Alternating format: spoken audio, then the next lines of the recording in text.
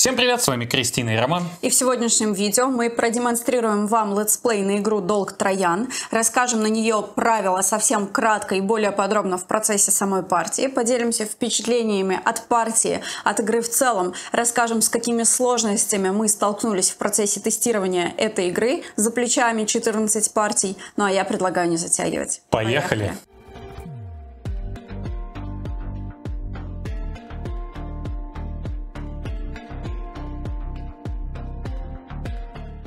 Мы пройдемся только по фазам хода, и когда они будут у нас происходить, мы будем детально рассказывать, какие есть возможности. При этом сделаем мы это только первый раз, а уже все остальные пойдут и так понятно и логично.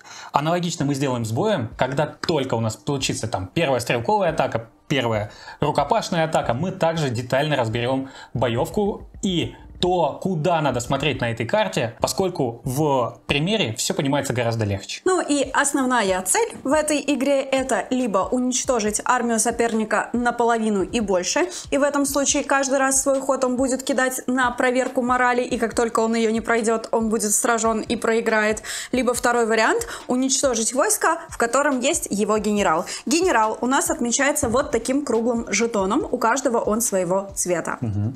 Также мы играем с дополнительными некоторыми правилами. Первое из них это то, что тот отряд, где находится генерал, всегда будет активирован. Из дополнения у нас есть местность. Мы не стали подключать леса, они у нас тут больше для красоты, чем действительно, что мы их будем использовать. И у нас есть водное пространство, это такое озеро и река сверху. Это означает, что за пределы воды через нее мы переходить не можем. Такая естественная преграда у нас. Угу. При этом мы ранее уже пробовали записывать летсплей на эту игру, где у нас преграды были размещены вот таким образом. И тогда играли Рома вообще другой армией, я другим генералом. Летсплей на эту игру вы совсем скоро сможете увидеть на нашем Boosty. По каким причинам это видео не выйдет на канал, расскажем в конце этого ролика. Ну а пока давай расскажем, как будет происходить фаза хода. Ход каждого игрока проходит через 7 последовательных фаз, которые никак нельзя будет менять местами. И какие же это фазы? Первая – это активация наших отрядов. Генерал активирован у нас всегда, для этого не требуется карта, а вот для остальных мы можем разыграть сколько угодно карт с руки. Они будут вот такие маленькие. И после фазы активации, как только будут разыграны все карты, мы переходим к фазе движения. Об этом тоже уже расскажем, когда начнем двигаться. После фазы движения у нас фаза дальней атаки, и потом есть специальные отряды, так называемые скирмиши, они же застрельщики, они могут доходить. После этой фазы у нас будет фаза ближнего боя. И в этот раз будут сражаться уже те отряды, которые состыковались между собой. Каким образом они будут э, стыковаться между собой и как происходит боевка, опять же, расскажем в процессе партии. После того, как все ближние бои завершены, мы переходим к фазе бегства.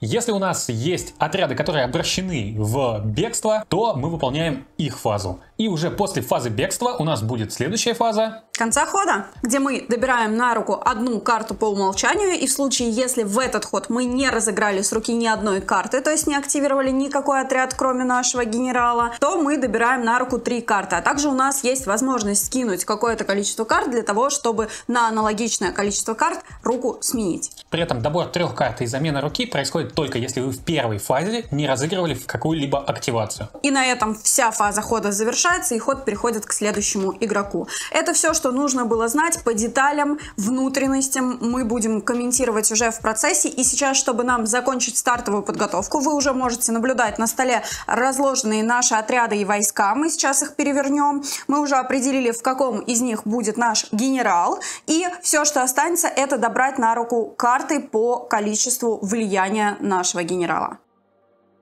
Дополнительно, что нужно будет нам сказать перед тем, как мы начнем партию, это то, какими особенностями обладают наши генералы. В моем случае стоимость моего генерала составляет 10% от стоимости всей армии. Мы договорились, что мы собираем себе армию стоимостью в 500 очков. Количество очков и их стоимость указана в левом нижнем углу каждой из карт. И, как я уже сказала ранее, мой генерал составляет 10%, то есть 50 очков. Какое у него особое свойство? Когда он находится в зоне досягаемости в расстояние 2 единицы от всех остальных своих отрядов, он дает им дополнительную защиту в первом этапе при боевке на одну Мой генерал стоит 15% от армии, и у него следующие свойства. Это возможность раз в ход перекинуть все кубики.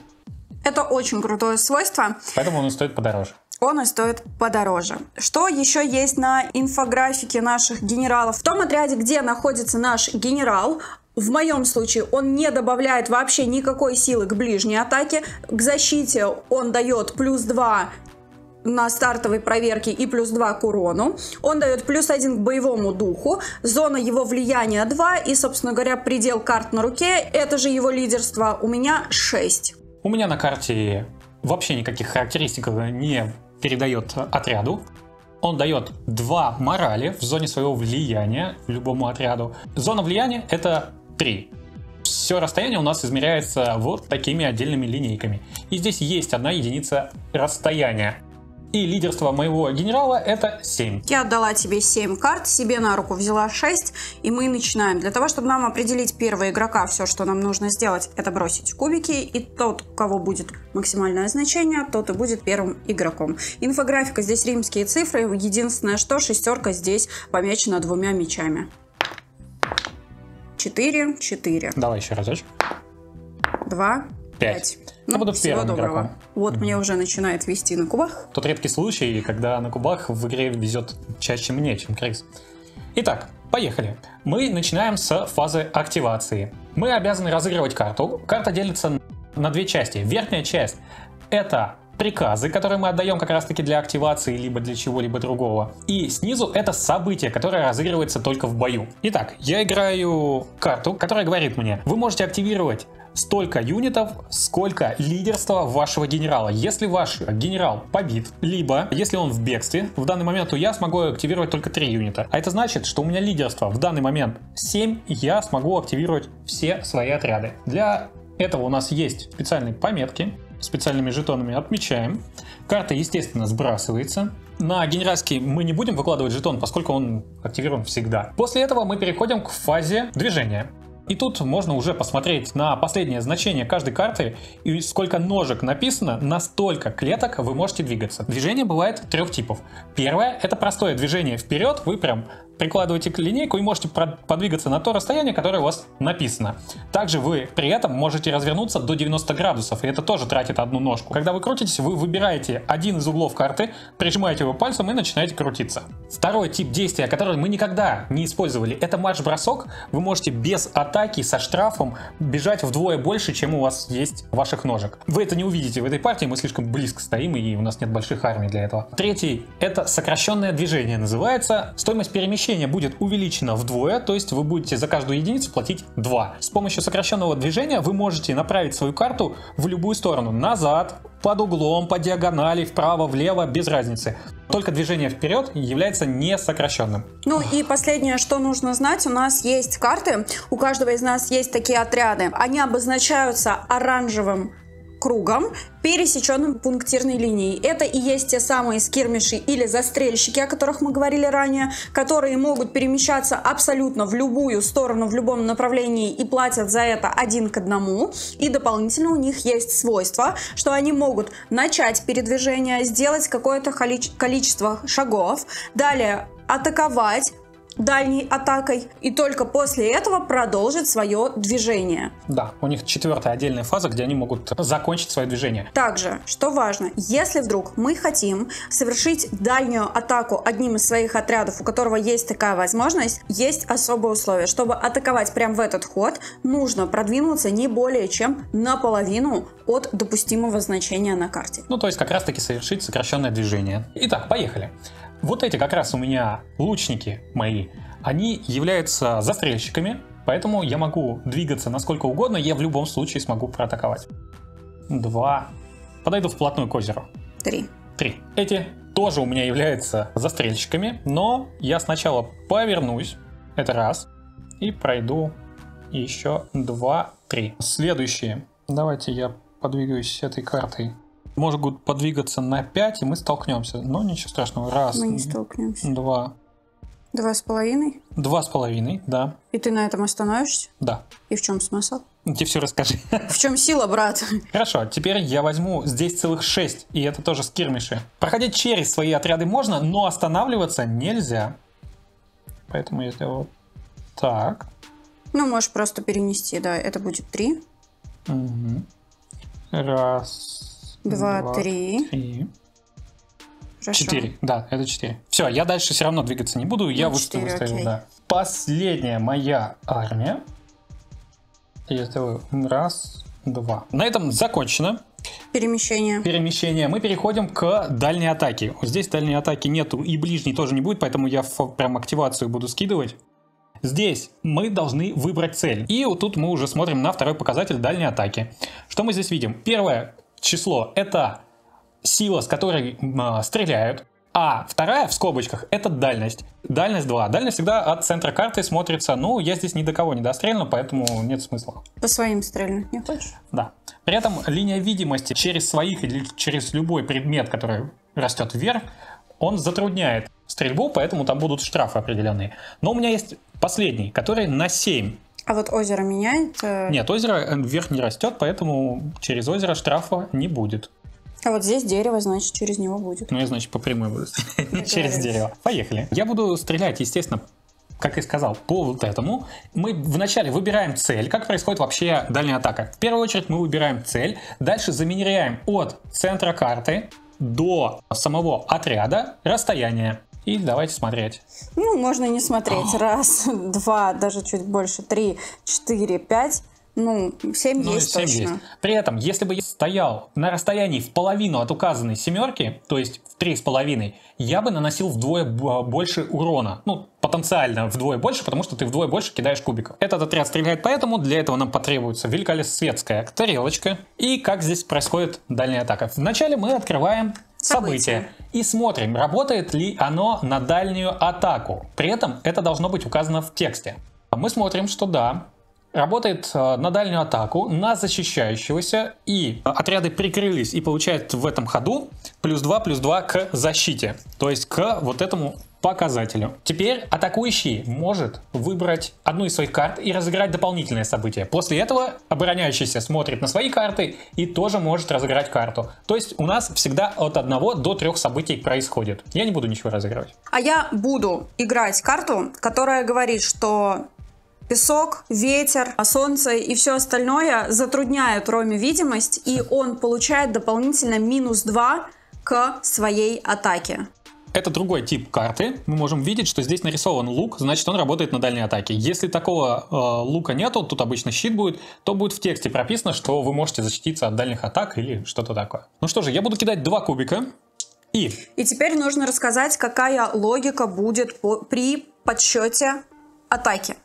У Ромы при дальней атаке сила 3, но по свойству этой карты она снижается на минус 2 значения, то есть у Ромы в базе есть одна единичка. Это значит, что у него в базе есть одна единичка, и для того, чтобы ему пробить мою защиту, у меня вот здесь вот на карте есть значение щитов. Это первое значение пятерка и второе шестерка. И не забываем, что я здесь защищаюсь плюс 2. То есть ему в сумме нужно пробить 5 плюс 2, это 7. У него единичка есть. Соответственно, для того, чтобы пробить меня и атаковать сейчас хотя бы, чтобы продвинуться дальше и наносить уже мне урон, ему нужно выкинуть только шестерки. Дальше пройдут только шестерки. При этом, даже если бы здесь в сумме у меня выходило не 7, а больше, ему бы шестерки было достаточно. Потому что шестерка в бою это критический успех. единица это критический провал. И время рассказать про второй значок, который у меня есть.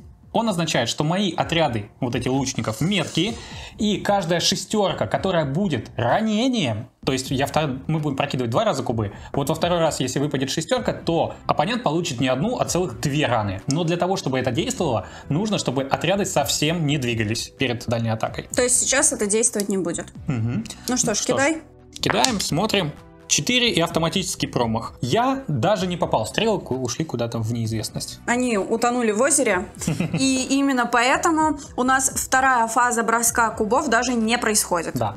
Если бы какие-то кубики попали, мы бы из тех, что попали, кидали бы еще раз и уже определяли урон. Это значит, что эти карты отходят в сброс. На этой карте атака тоже завершилась. И по сути у Ромы не осталось активных карт. И мы переходим к следующей фазе. Это когда застрельщики могут доходить. Но я, в принципе, расставился так, как мне нравится, поэтому я никакие там дополнительные подсказки не подкладывал, сколько у меня осталось еще до того, чтобы походить. После этого у нас ближние атаки, ни, ни один из отрядов не сошлись, поэтому мы проходим к бегству, бегства у нас тоже нету, и конец хода. В конце хода я, поскольку разыгрывал событие, а, точнее активацию, я добираю только одну карту. Ход переходит к тебе.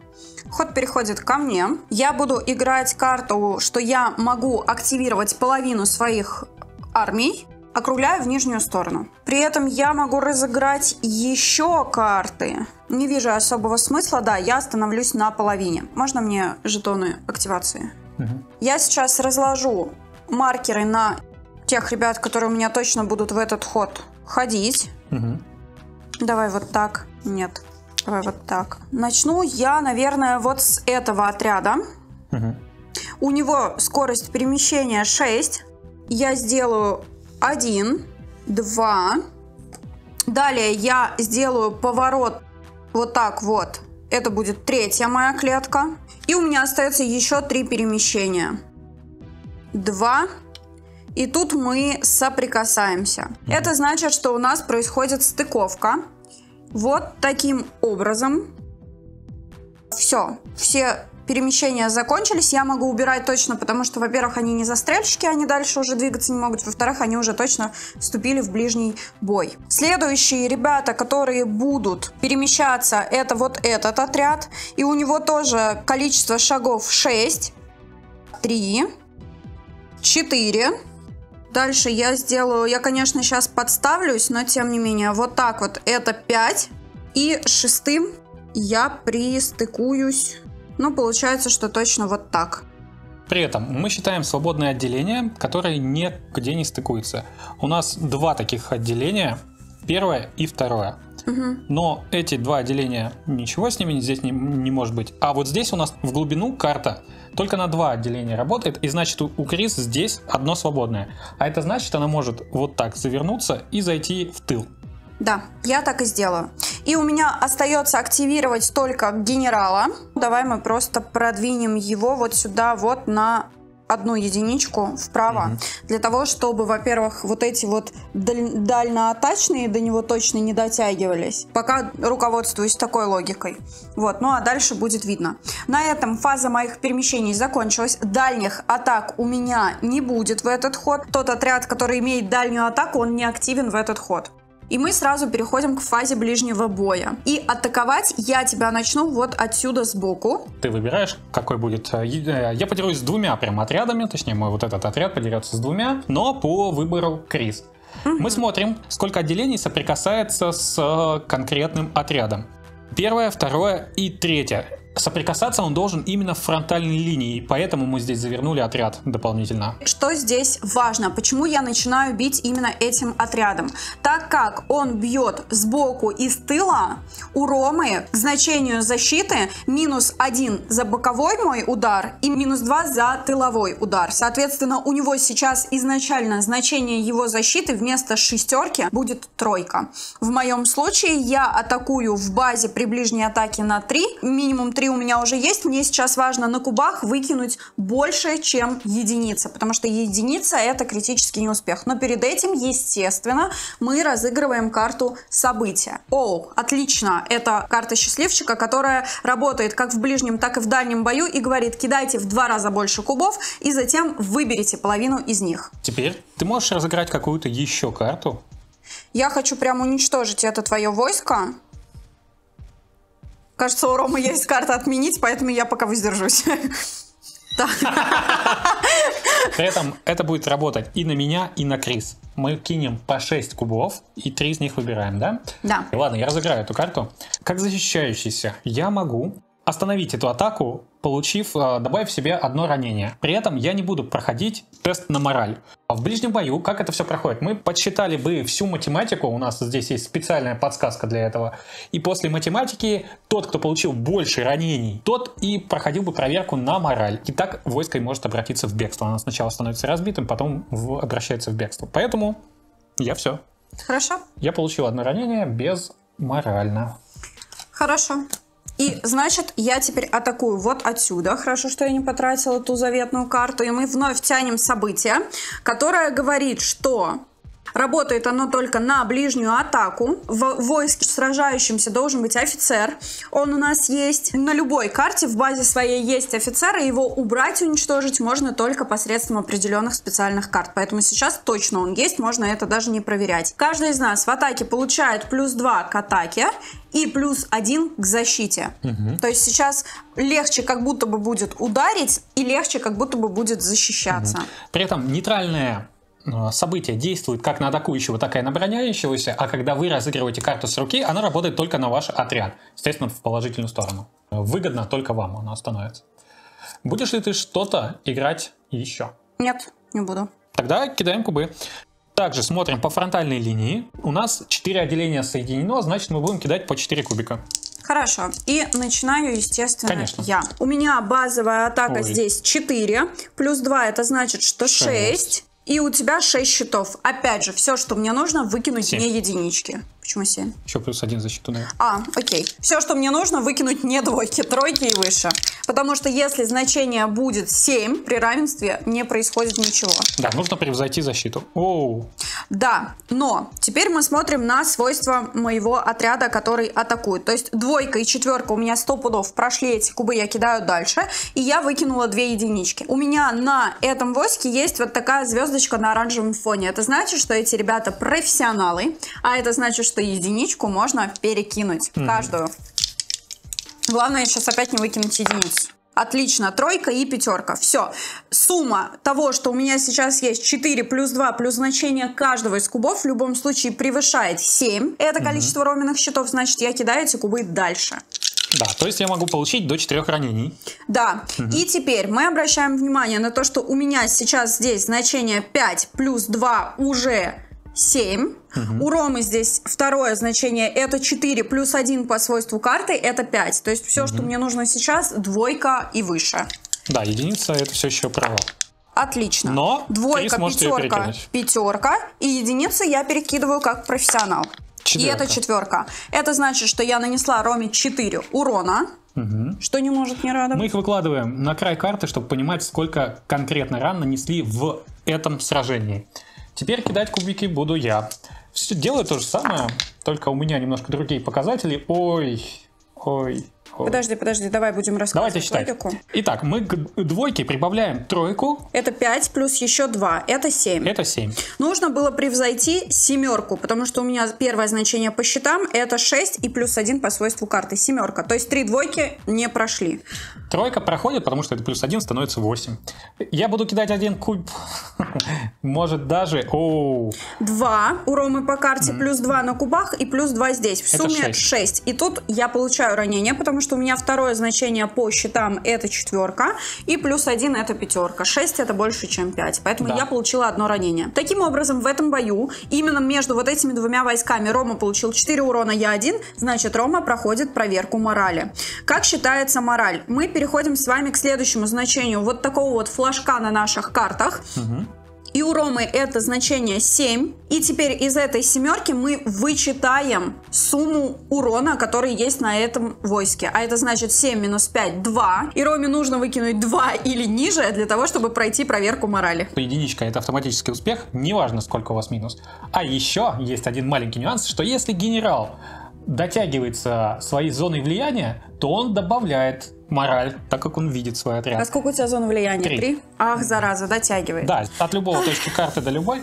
То есть я еще плюс 3. 7 плюс 3 – 10. Минус 5 – это 5. То есть сейчас Роме нужно выкинуть 5, 5 ниже. Хоть бы ты выкинул успех, это была шестерка. Нет, это 4. 5. А, 4. Окей. Ничего не происходит. Если бы я провалил эту проверку, мой отряд стал бы разбитым, и он к счетам бы минус 1, минус 1 был. Вот да, но я думаю, что вы еще в процессе партии это увидите. И Надеюсь, не, не на моих отрядах. Хотелось бы. И теперь, когда ближние атаки завершились, больше ничего не происходит, бегство не происходит, я добираю одну карту, и Рома начинает ходить. Я также в фазу активации играю. Снова такую же карту, как я играл в прошлый свой ход. Я мог перекинуть все кубики. Надо не забывать, вот. Так что, если вы смотрите, напоминайте мне, болейте за меня. Так, окей, вы можете активировать столько, сколько у вас лидерства. Это 7. Естественно, я могу активировать все свои отряды. Зачем активировать свои отряды, которые находятся в бою? Во-первых, вы сможете отступать, либо менять какие-то формирования, сделать что-либо еще. Я, конечно, делать этого не буду, будем продолжать здесь драться. Что мы еще не учли, на самом деле, когда у вас сражается еще больше, чем один отряд, у вас есть также штраф в защите. Это критично ни на что не повлияло, потому что я нанесла тебе все уроны всеми кубами, но на будущее, да, здесь нужно быть точно внимательными. А в первом случае мы отменили атаку, поэтому кажется, что сейчас точно не критично. Угу. Я могу сделать как-то хитро и, например, подвигаться о -о -о на единичку так в бок. Ну, сейчас ты все озеро передвинешь. Сделаю пометку, что я походил только на один так. из трех. И пока оставляю так. Здесь я тоже с кирмишем немножечко подвигаюсь. Зачем он это делает, не понимаю. Потом надо будет проскочить. Пометь, что я половинку потратил. Здесь мы, нам даже линейка не понадобится. Я схожу сюда, мы центруем, поскольку у меня есть одно отделение точно кон- да. контактирует. Мы немножко отцентруем карту. И три отделения у меня свободных, которые заходят в тыл. Интересно. Бои у нас не на жизнь, а на смерть. Кони пляшут. При такой ситуации мы понимаем с вами, что два моих вот этих войска дерутся вот здесь, два Роминых войска дерутся здесь, но при этом каждый из них дерется еще и по-своему. Генерал будет заниматься сокращенным движением. Давай я пойду... Ну давай на полтора. Окей, я закончил. После этого у нас э, дальняя атака. Те отряды, которые вступили в ближний бой, по ним стрелять нельзя поскольку вы можете задеть своих, поэтому отдать приказ стрельбы невозможно. Поэтому эти не будут никуда стрелять, а вот эти у меня семерочка попробуют от центра попасть вот этим в бок ребяткам. Давай пробуем. Давай пробуем. Так, 7 ладно, тут есть. 7, хорошо. При этом а, тут Не есть получилось. понятие линии видимости. Вы от центра можете провести а, линию. Если попадаете в бок, то будете стрелять также со штрафом, как и здесь. Что? Через дерево. Сейчас не будем мы это уточнять, и я не буду лезть в правила. Это просто невозможно. Здесь нюансов столько, что это невероятно. Но, что важно понимать, вот здесь вы видите лесную местность, и здесь, по сути, деревья, которые усложняют видимость. В лесу вообще перестреливаться нельзя, вы можете на расстоянии единичка э, стрелять. Поэтому я предлагаю сейчас игнорировать это дерево, представим, что его тут нет. Да. И я предлагаю разыгрывать бой по стандартным да. обычным правилам. Штрафы получаете, если стреляете через какие-то отряды. Вот если бы этот стрелял по этим и доставал, да? то был, бы минус один, минус один. Поэтому Здесь я достреливаю. Спасибо тебе большое, что пошла. Ну, просто Крис ощущает, что сейчас здесь доминировать начнет. Неси тарелку. На. Да.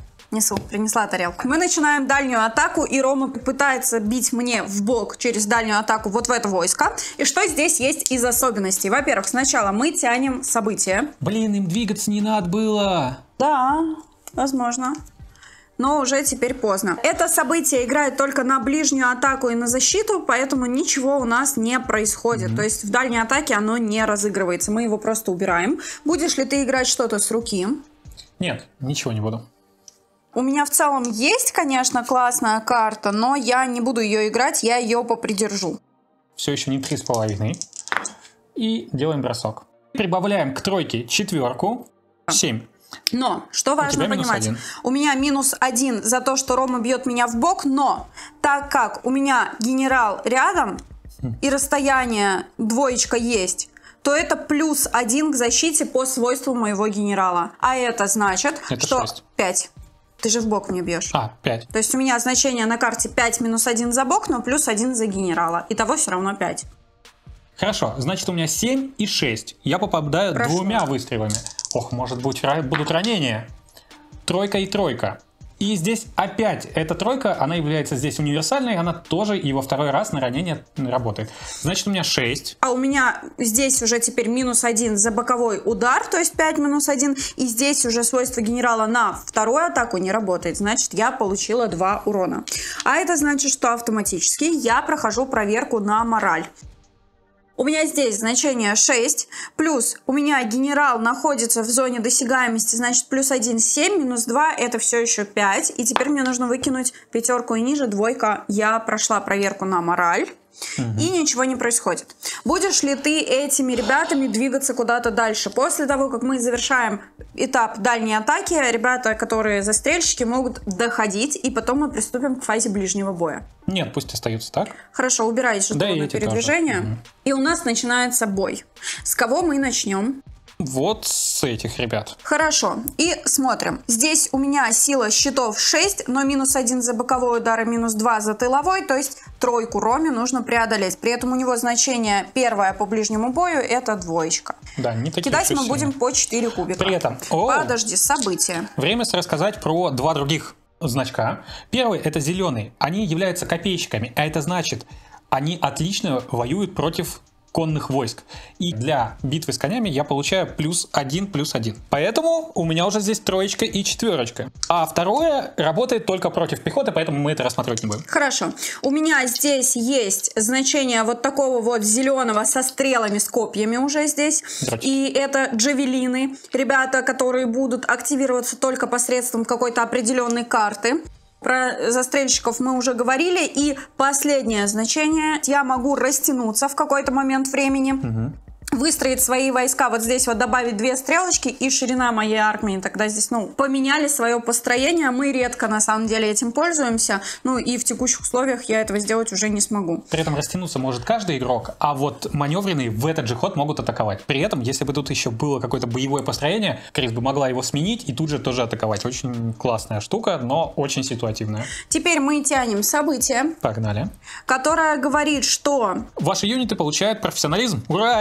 Единички будут перекидываться. причем здесь и у Ромы, и у меня. То есть Да. это работает как на атакующего, так и на защищающегося. Будешь ли ты играть какую-то карту? Да, я сыграю карту, которая говорит, если ты получишь хотя бы один урон, то ты станешь разбитым до того, как будешь проверку морали проходить. Хорошо, договорились. А я разыграю карту, которая мне говорит, что перед тем, как нача- начнется бой, играю эту карту, и это карта Джавелинов, и атакую Рому четырьмя кубами перед тем, как начинается основной бой. Обожаю эту карту. Джавелины, это значит, что это дальняя, правильно, атака у джавелинов? Да, да, То есть да. я прежде чем мы деремся вот так вот друг с другом лоб в лоб, я его копьями закидываю. А значит, дальняя атака у меня имеет силу 3, и пробить мне нужно щит стоимостью 6. Никаких дополнительных у тебя нет. Хорошо. Отлично. А? Шестерка, пятерка. Двойка не проходит. И единичку, так как мы в этом бою все профессионалы, я перекину. Вот это, кстати, нужно уточнить. Мы не знаем, сейчас мы это сделали. Ну, как будто бы двойка ничего Да. не поменяла. Но мы действительно не проверяли, можно ли перекидывать, то есть работает ли это свойство профессионалов на то, как мы деремся перед атакой. Возможно, кстати, нет, потому что это перед боем. Да. Джавелины играют. Ну, собственно, сейчас бы это на геймплей не повлияло. И здесь двоечка. Теперь мне нужно 3 плюс Нет, 5. 5, да? 3 плюс 2 это 5 в сумме я не прохожу, а вот четверка я один урон Роме нанесла. Мы также его помечаем. А теперь начинается основной Настоящий бой. замес. И у нас 4 отделения состыкованы. Поэтому будем кидать по 4 кубика. Смотрим модификаторы. Хорошо. Проверяем тройку. 3 плюс 3 это 6. У меня защита щиты 6, но минус 3 за бок и за тыл, поэтому точно все кубы проходят дальше. Посмотрим, как теперь будешь наносить урон. Ну, надеюсь, что как-то буду. Успех есть. При этом у нас все еще играет профессионализм. Он мне, конечно, не Ну, поможет. Все 4 на самом деле проходят. Да, считаем двойку. 2 плюс 4, 6. Да, И у тебя... да. Ну, у меня 4 минус 3 Значит, я наношу 4 урона. Отомстил.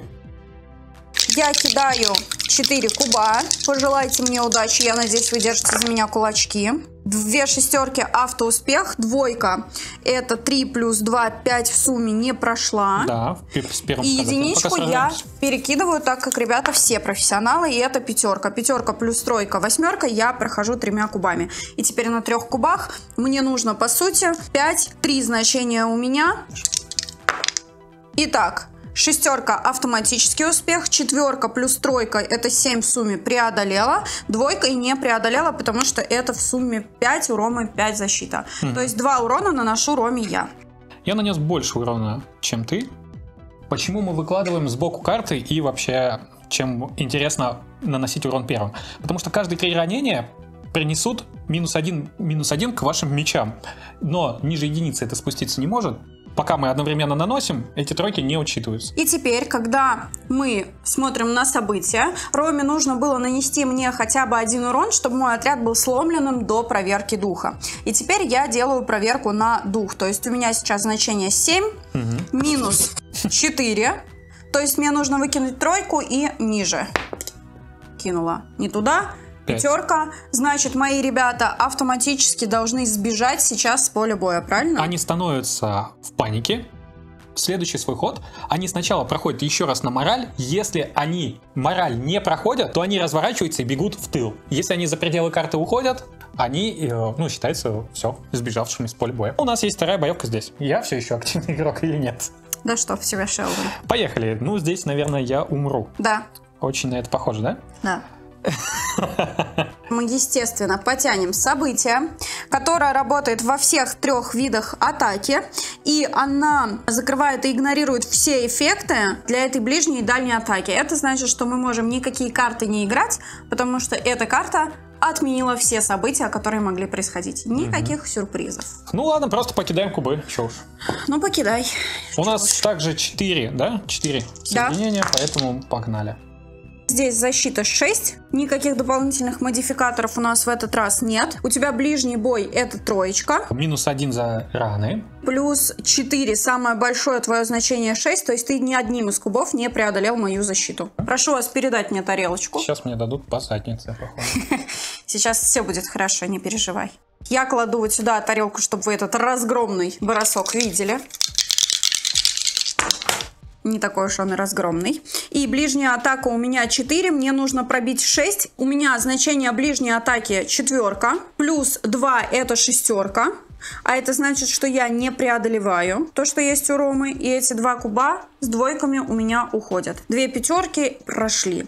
И Погнали. кидаю теперь эти два куба. Четверка точно прошла, так как мои ребята профессионалы, я перекину единичку, и это критический успех. Это значит, что я наношу Роме 2 урона, Да. и это уже 6, Семь. 7, и у него 7 жизней. Да, карта просто, естественно, уходит. Напросился, что называется. Получил. И это минус 110 очков. То есть Да. у Рома армии по силе осталось 390. Мгм. На этом ближние атаки у нас завершились. Рома добирает карту, и я начинаю ходить.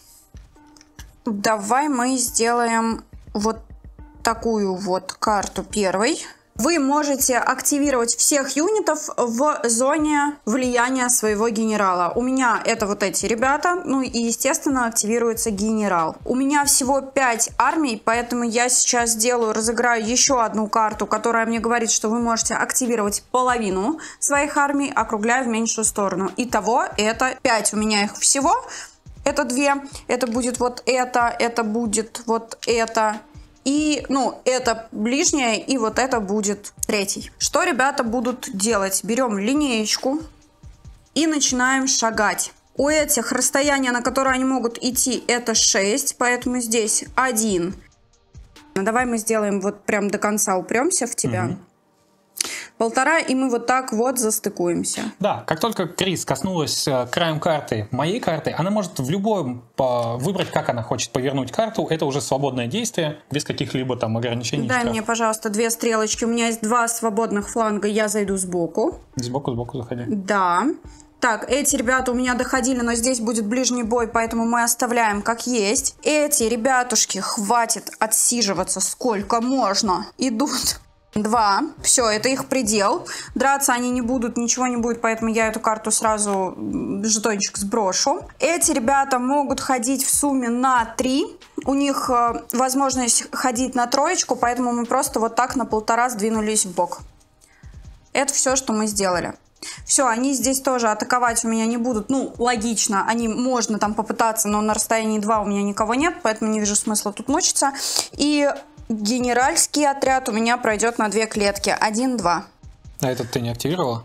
Этот я не активировала. Мгм. Если бы Крис активировала этот отряд, то она во время фазы активации смогла бы провести дополнительную проверку морали. И если она ее проходит, то этот флажок сбросится, отряд сгруппируется. У нас дальних атак нет, мы начинаем ближние атаки. Единственное место, где мы можем сейчас подраться здесь, потому что эти ребята у меня в настроении бежать, и они в конце хода убегут. Да. Вот.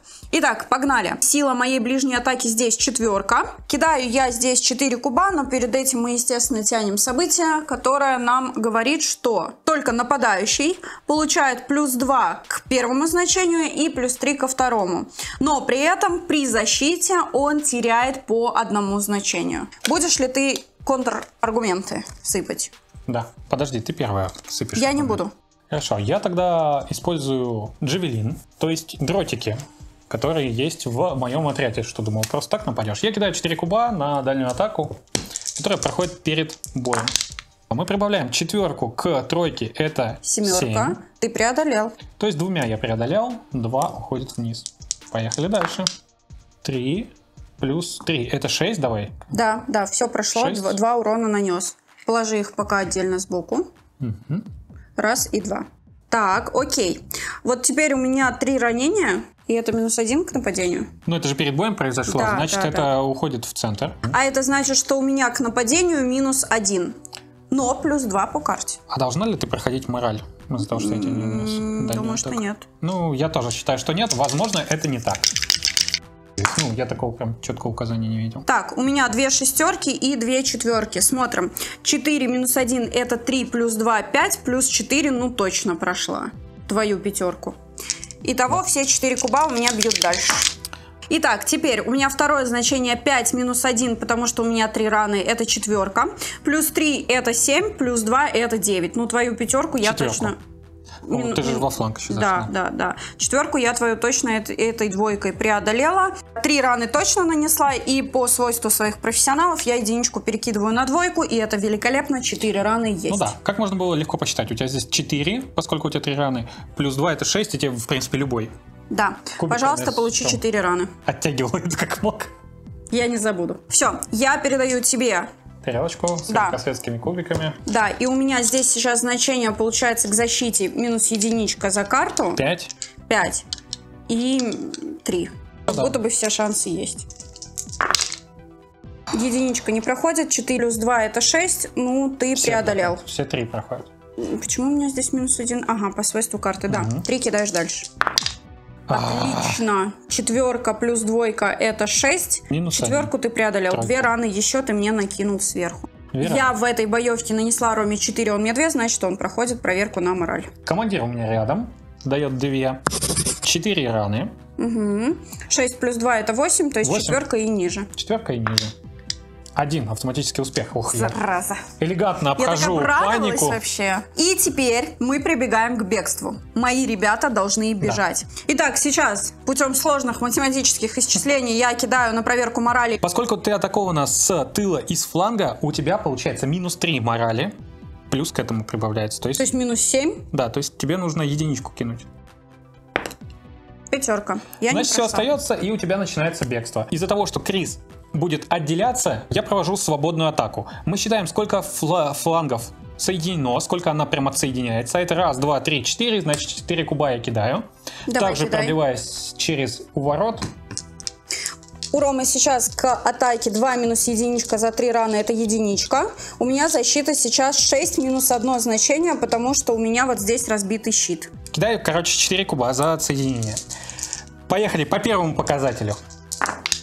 У меня минус 2 за то, что Рома берет, бьет меня в тыл, минус 1 за то, что бьет в бок, и еще минус 1 за то, что у меня разбитый щит. То есть 6 минус 4 это двойка. Ему достаточно выкинуть двойку, чтобы преодолеть. Все, единичка не проходит. Остальные прошли. Отлично. Два урона Рома мне дополнительно наносит. Итого в сумме 6. Я все еще жива. На удивление, но убегаю, потому что у меня здесь 7 жизней. И я могу продвинуться на 6 шагов. И я это сделаю. Все. Они у меня сбежали. И теперь мой ход завершается. Я добираю одну карту. И начинает ходить Рома. Я не буду разыгрывать в фазу активации хоть какую-то карту, чтобы добрать э, три к конце раунда. Но генерал у нас всегда активирован, а это значит, он проходит вот так поворотом и стыкуется здесь. И, как вы можете заметить, я пристыковался раз, два, три. И один у меня остается А что значит 2-3? вот так. Не, тебя не напрягает, что это, Это ты? А это ты. А вот твои войска. А вот теперь мои войска вот так зашли. Ужас какой. Да, вот такая вот у нас змея получилась. Все, поехали. Мы играем только боевку здесь. Кто бьет первым? Генеральский.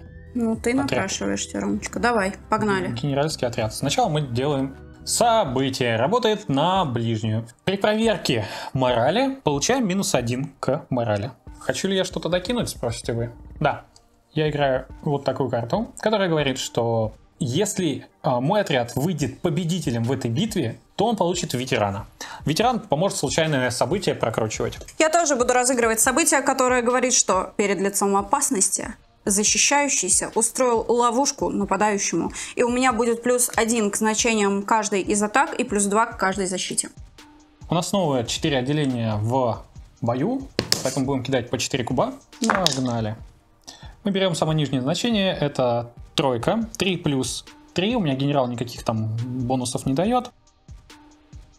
6 не проходит. Четверка и выше проходит. Давай бьем дальше. Кидаю еще 3 куба. Шестерка, понятно, успех. Тройка плюс тройка это 6. У меня 4 минус 2 да. это 2. Плюс 2 это 4. То есть ты мне две раны еще нанес. 3. Тройка же тоже проходит. Три раны я тебя еще нанес. Ну, три раны я погибаю. Да, но ты перед этим дашь мне в ответ урон. Ох, сейчас я тебе дам. Сейчас, я тебе дам, так дам. Поехали. Они у меня профессионалы. Единичек мы будем перекидывать. Так, а эта единичка не прошла. Смотрим, прошли ли двойки. У меня значение ближней атаки 4 минус 1 это 3, плюс 2 это 5, плюс 1 это 6. Преодолеваю я шестерку. Не прокатила. Двойки не прошли, прошла одна тройка. И это единичка, которую я переброшу, и это снова единичка, и я Ромина не наношу урона. Все, отряд э, уничтожен. Мои ребята погибают, и эта сила 150, у меня осталась армия на 350. Это был твой ход. Так, мы переходим к концу. этого Добирай три карты. Да, я добираю три карты, поскольку я не разыгрывал фазу активации ничего. Хорошо. Снова хожу я, и я буду активировать двух юнитов. Это значит, что активироваться у меня будут вот эти ребята, ой, и вот эти ребята. Эти пусть пока ждут момента, когда можно будет полечиться, но карта лечения пока не приходит. Двигаемся мы на две клетки вперед. Два. Эти ребята у меня все еще двигаются на полтора в бок. Все. Никто из них не может атаковать, ближних дальних, дальних атак не происходит. Это значит, что максимально быстрый ход у меня случился. Я добираю одну карту и снова ходишь ты. Хорошо, в фазу активации я могу активировать всех своих юнитов, и они получают в этом ходу плюс один к морали. Фаза номер два – это движение. Давай, а, я могу продвигаться на 5. Раз, Раз, два. И здесь я с помощью тройки развернусь, ну и стыкуюсь на четвертую. Хорошо. А, Захожу во фланг тремя. Здесь все, здесь ребята давайте пройдут. Но вот так не будут они соединяться, Хорошо. чтобы не умереть. И эти Просто будут стрелять, стрелять, да, хорошо. потому что они двойной урон наносят. Дальние атаки. Дальние атаки. Дотянусь ли я до твоего генерала, вот в чем вопрос. Давай я буду стрелять вот по вот этим ребятам. Ты точно попадаешь, потому что вот так вот, Да. это значение у нас 6. Кидаешь два куба. Пе- Перед этим происходит событие, которое говорит, я могу получить одно ранение и добавить себе один урон, и в этот э, раунд не происходит Но это бой. дальняя атака, поэтому... Да, и, ну, в целом, не вижу в этом смысла. Окей, поехали. Хорошо, я буду разыгрывать следующую карту. Мы проведем два раунда атаки с проверкой морали. Когда мы будем проходить эти два раунда, мы второй раз разыгрывать э, ивенты не будем, то есть событий их ни- никаких не будет. Будешь ли ты что-то играть? Прежде чем получить дальнюю атаку, я получаю плюс 2 к значению щитов и в первой, и во второй проверке. Погнали. 6 и 4. 7 проходит. Нет, не проходит, потому что Ровно 5 семь. плюс 2. И еще у меня расстояние 2, поэтому здесь генерал дает плюс 1 к защите, и по свойству моей карты еще плюс 2. То есть это 7 плюс 1 8. Ладно, шестерка в любом случае прошла. Да. 4 плюс 3 это снова 7. 6 по свойству карты и плюс 2 по событию. Не попал. проходит. И мы начинаем второй раунд, и вот это у нас все скидывается.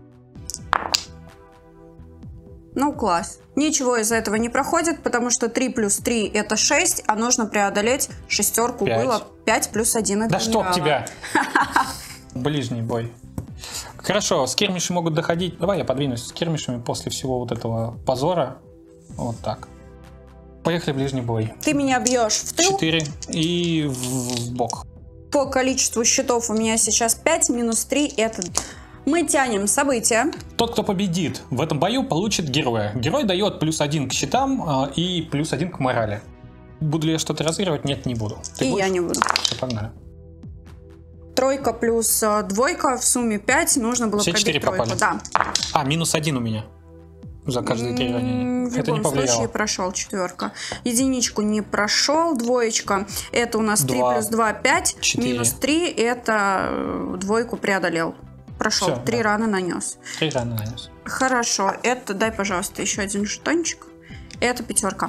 Окей, пока еще живы. Теперь мои ребята, у них при ближней атаке сила 3. Шестерка это точно успех. Они не профессионалы, единичка уходит. 3 плюс 4 это 7 мы преодолели. Пятеркой, соответственно, тоже преодолели. Ничего не Второй происходит. раз не преодолели. Да, хорошо. Теперь я прохожу проверку на мораль. 6 минус 5 это только единица меня спасет. И это пятерка, четверка вернее, и не спасает. Это значит, что мой отряд становится разбитым. На этом твой ход завершается. Да, Я играю карту, которая говорит мне, что я могу активировать только одного юнита. И этот один юнит будет вот этот. И он пройдет вот так вот. Один, два и три. Дальних атак он уже совершить не может, никуда не стыкуется. Это значит, что мы здесь с Ромой проводим ближний бой, и я, скорее всего, здесь погибну. Перед тем, как это будет происходить, мы играем события. Мгм. Оно говорит, что если я нанесу тебе хотя бы один урон, то ты автоматически станешь сломленным. Будешь ли ты Нет. играть события? Хорошо, отлично. Я тоже не буду, у меня просто нет карт на руках, поэтому я кидаю кубы, и здесь мы стыкуемся в четырех местах. Начинается вот это мое тотальное везение. Единички у нас сразу уходят. Четверка плюс двойка. Мгм. Это шестерка. Нужно преодолеть шестерку. Шестерку. Четверка не прошла. Кидаю один куб. И это пятерка плюс двойка. Это 7 в сумме. Пятерку мы преодолели. Мгм. Значит, одно ранение я тебе все-таки наношу. Теперь кидаешь кубы ты. Мгм. Также 4 куба. Два точно прошло. Тройка, скорее всего, тоже прошла. Это 4, а преодолеть нужно двойку, да, прошло? Даже единичку, потому что минус 3 за тыл и за бок, и еще минус этот. Мгм. А почему ты все 4 куба кидаешь? У тебя же Ну, единичка все была. 4. У меня Ну, две единицы не прошли, тройка точно проходит, два урона ты мне наносишь, у меня 5 было, все, ты разбил мой отряд полностью. Это значит 150 плюс 40, это еще не половина армии, 190 пока. При этом, если я наношу тебе хотя бы один урон, ты становишься разбитым. было. До проверки морали. Мгм. Да. Окей, события мы убираем, и у меня не осталось ни одной карты, я одну карту на руку беру. Я лечу одно ранение своему отряду. При этом он не может войти в, в битву. Но в конце твоего хода эти ребята должны дальше бежать. Ну, Передвинь их на 6 просто. Мы не сделали этого сразу. Я прохожу проверку морали, кидаю четверку. Значит, ничего не происходит. Я сбегаю дальше 0,5. 5-6. Мне тут неудобно. Где у нас пределы поля? Это оно? Ну, стол, конец стола. Наконец-то. Ну, конечно, конец стола, он же в кадре есть. Но вообще логично, наверное, если я сейчас вот ровно по линии леса, если я за пределы леса уйду, то Хорошо. да, Не буду ничего играть, не могу, у меня не хватает. ничего не активируешь. А, ну ты полечился. Ты карту в любом случае разыграл. Тогда больше ничего не Нет, тогда происходит. я буду играть. Вы можете активировать один отряд, вот этот. Мгм. Переходим к движениям. Кучу карт потратил. Один. Один. Два. Хорошо. Стреляй. Все, начинаются стрелковые атаки. И здесь у нас... Так, я в бочину буду бить. Ну, ты дотягиваешься, но все еще не три с половиной. Так что два куба кидай. Но минус один, минус один. Тянем события. Перед этим тянем событие, которое работает везде. Если нанесется хоть одно ранение, то отряд лишится офицера. Хорошо. Будешь ли ты играть события? Не. А я буду. Ну давай. То дальняя атака терпит поражение, и Я выбираю для атакующего его дружественную армию, которая на расстоянии единички. Ветер Окей. сносит стрелы. На самом деле все очень Ве- просто. Ветер сносит стрелы, но мне кажется, что можно, если вот здесь есть расстояние единичка, бей вот сюда себя сам. Нет. Нет, тогда бей вот эту. Кидает два куба. Промазал, попал. Попал. Причем ты не двигался, значит двойной урон наносишь. Не, это только в первую шестерку прошел. А, окей. Кинь еще раз шестерку. Отлично. Ты два урона себе нанес. Ты почему мне это делаешь? Ну, мы, кстати, не в курсе, работает ли это на своих, но по сути, да. Да, да, это же просто промахнулся, ветер снес. И вот проходишь ты сейчас промерку Моралес, Конечно. проходишь, ты сам себя попал. Бедняжка. Ой, ой, смотрите. 7 минус 5. Плюс два делаю. И вот 7 минус 6. Итого, ой, не 7, а 9 минус 6. Я кинул. Ну, Идеально. проходишь, да, я проходишь, прохожу. Все, все хорошо.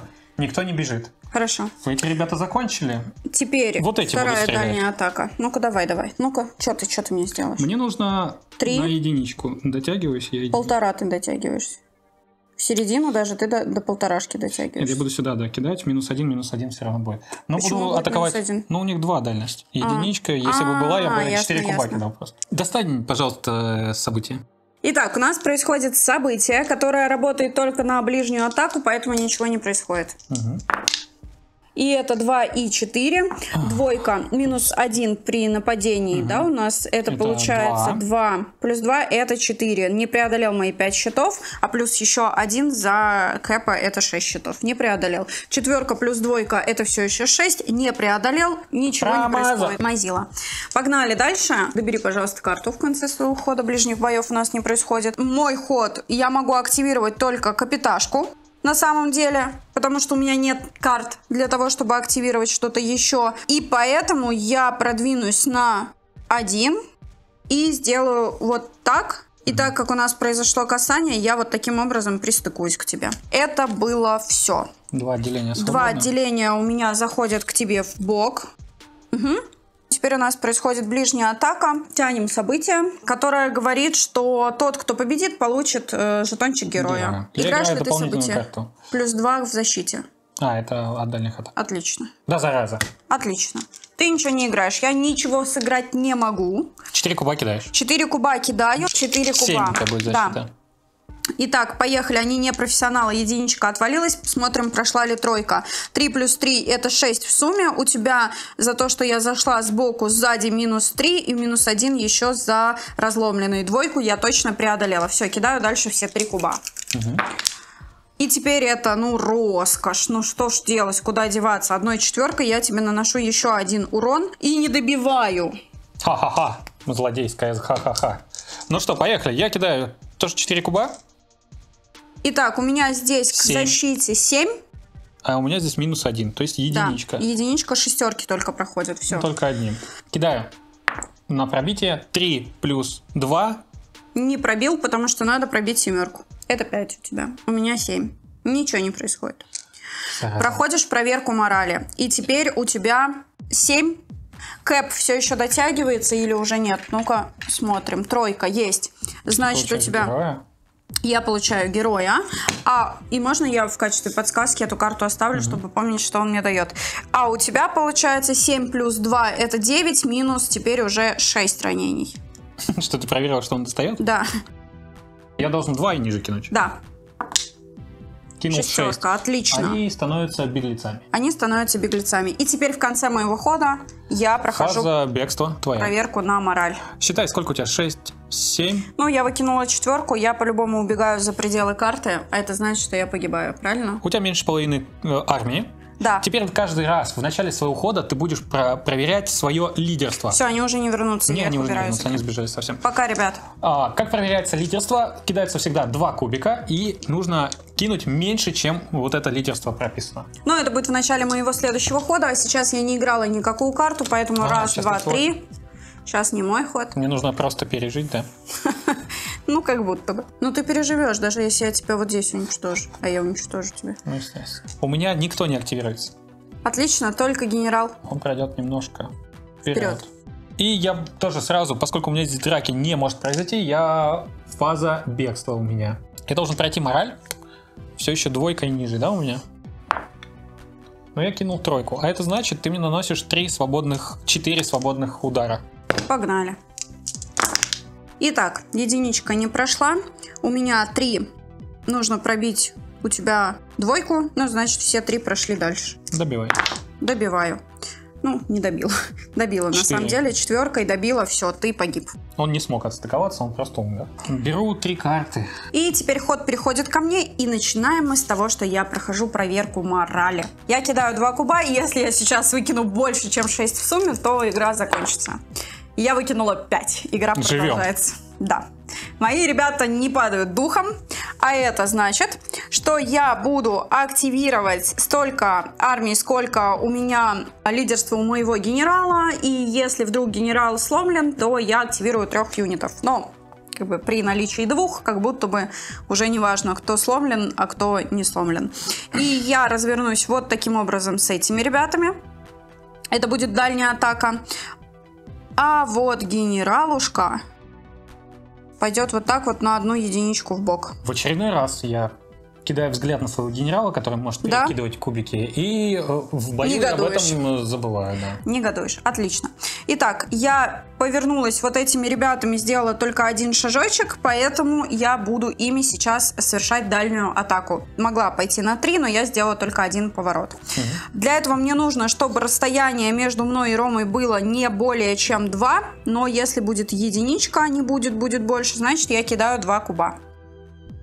Дальняя атака происходит. Проигравший в битве получает э, к проверке морали минус 2, но это не работает на дальнюю атаку. Это не работает на дальнюю атаку. Очень грустно. Кидаю два куба. И это шестерка автоуспех. И здесь у меня двойка плюс тройка. Это пятерка. У Ромы здесь 5. А значит, этот кубик у меня не проходит. И я кидаю один единственный. Ну, конечно. Они ее не А, профессионалы? подожди, нет, они джавелины. Ну, единичка ничего не побила, значит, дальняя атака не удалась. Во-первых, вот это вот, что у тебя тут лежит, непонятно. Хорошо. А, Может, они разбитые, потому что просто перевернулась. Э, Может быть. И вот тогда у меня щиты минус один, минус один. А оно так было? Нет. Ты уверен? Да, не, не было, не было. Они не махались. Мне кажется, они махались. Ладно, пусть будут разбитые, но это не важно. Ну, Погнали. почему это не важно? Потому что я тебе сейчас тогда урон нанесла. Я, вернее, два куба должна была кидать. Сейчас, короче, это все было в черно-белом варианте. И мы не заметили, как вот этот жетон перевернулся или нет. Ты согласовываешь, что здесь Да, да, ладно, жетон? давай, Хорошо, разбиты. давай мы Кидай. проводим атаку заново, чтобы все было по-честному. Единичка не проходит, четверка это 4 плюс 2 в сумме 6. Пятерку я преодолела, я кидаю один кубик. 3 плюс 2 это 5 в сумме. Минус 1 к счетам это четверка. Один Ага. урон я тебе наношу. Ты проходишь проверку на мораль. Мне нужно кинуть... э, так, 6 минус единичка это... 6 минус 6, мне нужно единицу кинуть. Подожди. А, плюс 2. Плюс 2, 8 минус 6, минус 5 это 3. А, А, минус это 6. да. Пятерка, не прошел. Значит, они Бегит. обращаются в бегство. Ну, по-моему, он не был разбитый. Ну ладно, Ну, погнали. как будто бы был. Хорошо. Погнали. Возможно, ты мне перекинул. Ты ходишь. Я хожу. Ваш оппонент скидывает все карты и берет новые. Что у тебя там Спасибо. Помог, да? Очень. А, я в конце своего хода должна была еще одну карту, кстати, Вы добавить. можете активировать половину своих юнитов, округляя в меньшую сторону. Поставил. Пожалуй, все. Ты ничего не делаешь? Ну, я активировал, у меня этот активирован, этот Хорошо, активирован. ходи. Погнали. А, что делает мой первый дружочек? Разворачивается. Два остается, и поэтому он на два двигается к тебе. Этот отряд будет атаковать тебя. Ну, все еще расстояние 7, я думаю, что есть. Кидаю Три- два куба. Да, три с половиной нет, но есть. Давай мы вытянем сначала события. Работает на ближнюю атаку, мили комбат. Будешь ли ты что-то докидывать? Не буду. Хорошо. Они у меня не двигались, они, каждая шестерка, которая пройдет, будет x2. Это попал, это не попал. И пробитие. Это четверка. И нужно было пробить 6 плюс 1, плюс 2 от генерала. Это У меня 8. 4. Почему у тебя все время все больше? Плюс один А, там? нет, на второе не работает. Извините, извините. И минус один, потому что я в бок бью. Да, окей, 6 минус 1 это пятерка. Семерка Да, это... хорошо. Я прохожу проверку на мораль. Это 7, плюс от кэпа еще один, это 8. Ну, я по-любому пройду, но технически. Тройка есть, все. Проверку на мораль я прошла. Одну рану я получила. Итак, добирай карту. А, и мои парни должны отступать. Я кидаю мораль на них. Пятерка, Естественно, не нет. прошел. Они Раз. раз, два и три. Ну и теперь я прохожу а, проверку морали, и это 7. Семь. И я не прохожу, потому что мое значение 6. Это значит, что меня разнесли в пух и прах. А, и я я, не выдержал давления. я проиграла. Итак, мнение о партии. Партия получилась на самом деле жаркая, как и всегда, как и обычно. Как обычно, дико горело у меня, подгорало от того, что не выпадали в нужный момент кубы. Но, собственно говоря, мне кажется, что это и есть основная цель подобных игр. Когда ты а, продумываешь тактику и стратегию, и потом в какой-то определенный момент кубы тебе сносят просто все. Условно, как это происходит на реальном э, поле боя. Когда твои оппоненты тоже что-то делают, и ты не понимаешь, как завершится твой бой. Ну вот оно, влияние кубов таким образом реализовано в этой игре. У меня горело, скажу честно. Да, наверное, тут стоит сказать больше об игре в целом, потому что каждая партия, это, включая эту, это огромное влияние каких-то внешних факторов, каких-то рандомных вещей на то, что происходит в игре. И в целом эта партия была не исключением, она где-то была на подъеме, какие-то классные эмоции дарила, а где-то прям очень горело с того, что у тебя там не выкинулись какие-то кубы и так далее. Вот, в целом можно сказать, что игра симпатичная, но на определенную публику. Это можно заметить, в принципе, по тому, как протекал весь процесс. Если вам нравится кидать кубы, доставать рандомные карточки, настраивать свою партию, потому что мы сыграли на 500 очков. Обещали еще поделиться тем, с какими сложностями мы сталкивались.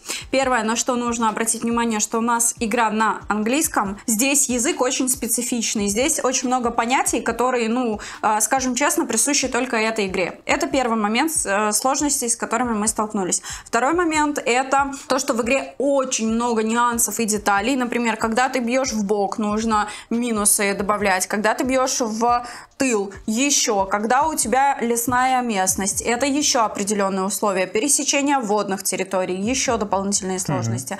Где-то м, вам помогает ваш персонаж, да, вашего генерала, где-то не помогает. Забываешь про его особые свойства, что, собственно, было на на постоянной основе на протяжении всей партии у Ромы. Плюс каждый из отрядов имеет свое свойство. В некоторых случаях это сразу четыре свойства. То есть у игры очень много деталей и нюансов, погружаться в которые было на самом деле достаточно сложно. И, скорее всего, даже в этой партии вы увидите некоторые несостыковки, может быть, даже по правилам что-то.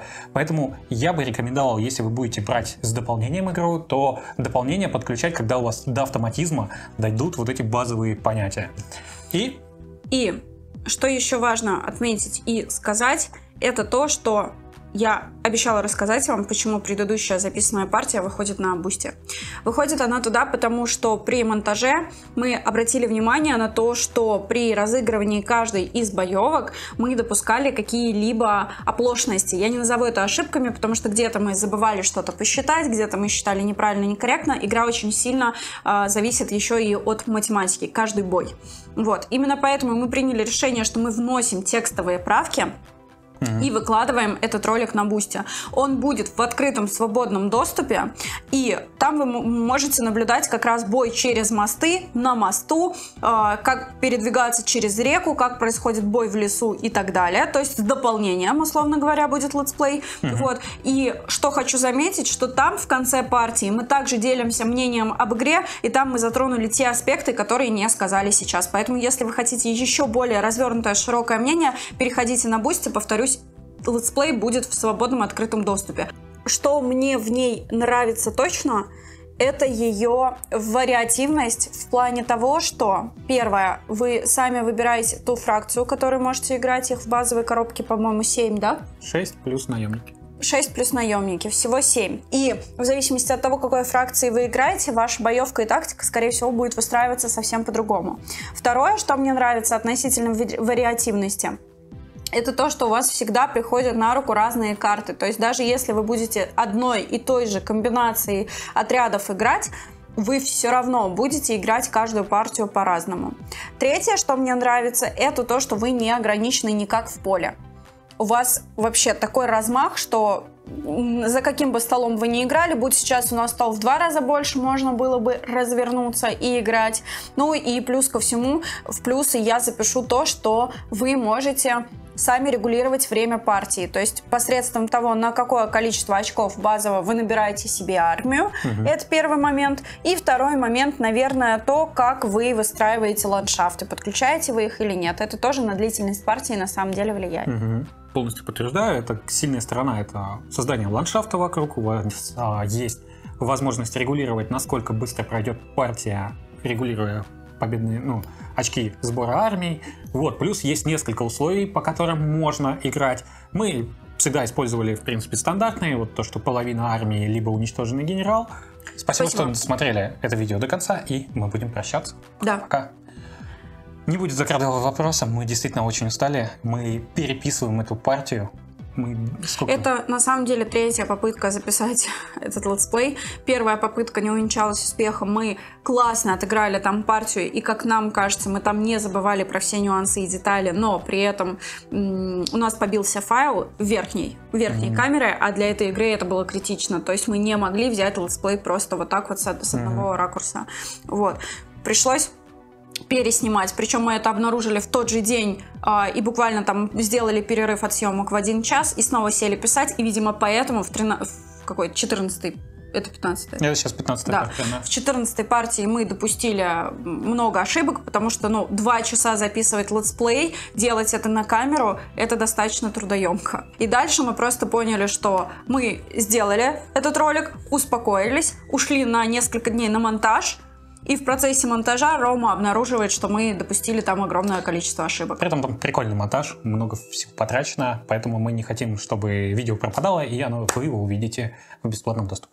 И... Не хотим заливать его на YouTube, потому что э, точно знаем, что столкнемся с тем, что начнутся комментарии, вы тут играли не так, вы там играли там не так. Много такого. Там очень много такого, и мы решили, что пусть оно будет там, куда людей приходит сильно меньше, но это своего рода такой маленький эксклюзивчик для тех, кто не поленится, нажмет на кнопочку на ссылке и прогуляется угу. туда. Видели бы вы там горение, которое будет происходить. Ну ладно, поехали. А, еще раз, пока-пока, до новых встреч.